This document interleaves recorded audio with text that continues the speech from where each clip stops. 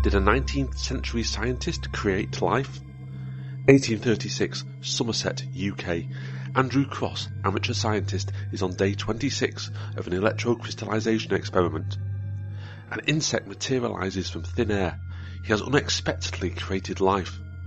In the following weeks, hundreds more appear. Word gets out. Crosse is accused of blasphemy. Death threats roll in. Other scientists, including Michael Faraday, repeat the experiment and get the same results. Life. Fearing for his own life, Crosse discontinues his unholy experiments, and the episode becomes the basis for Mary Shelley's novel, Frankenstein. But is any of it true?